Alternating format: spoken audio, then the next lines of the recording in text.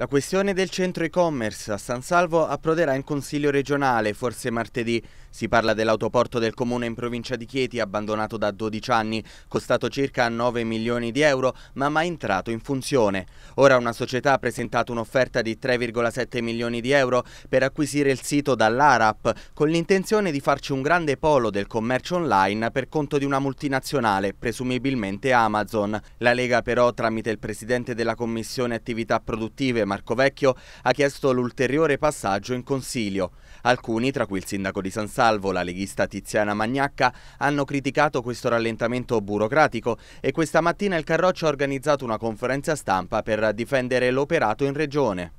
Ci siamo subito preoccupati di riportare la procedura ad una condizione di sicurezza a tutela degli investitori, a tutela della credibilità dell'azione amministrativa della regione Abruzzo. Nel frattempo però sono comparsi in città alcuni striscioni di contestazione e non da parte di attivisti di sinistra ma dagli stessi militanti del partito di Salvini che vogliono sì Amazon ma non il coordinatore regionale d'Eramo e la consigliera Sabrina Bocchino.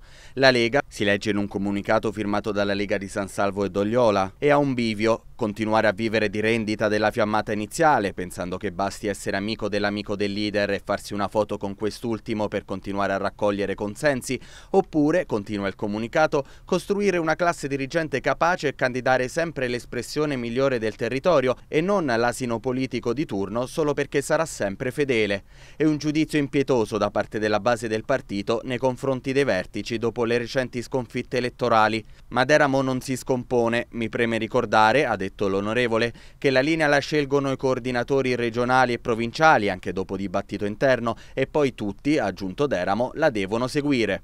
Intanto associazioni di categoria esprimono perplessità riguardo il pollo del commercio online. L'e-commerce infatti, che ha aumentato in maniera esponenziale i propri profitti durante il periodo Covid, rischia di affossare le piccole attività locali.